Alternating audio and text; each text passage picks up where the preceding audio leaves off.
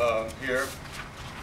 And then also, um, extra copies of uh, this journal, for any of you who are interested, is published by the American Bar Association, a section on energy, uh, environment, energy, and resources.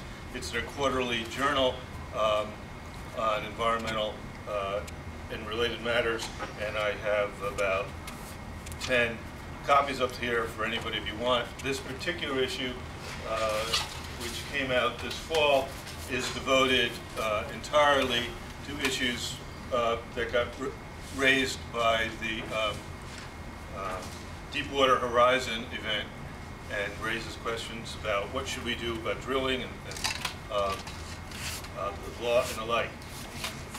So, um, question today is, do job, do, does, do environmental regulations hurt jobs? So I want to focus initially, before we get into the question of benefits of environmental regulations, health and the environment, uh, on that initial proposition. And I want to suggest that that is an urban myth uh, that has no um, no corresponding truth in reality. And that in fact, environmental relation, regulations not only do not cost jobs, but they are good for the economy. Um, and I'm going to give you a number of examples as well as explain to you very briefly, sort of theoretically, why that is so and why the argument that they cost jobs is um, an urban myth. Um,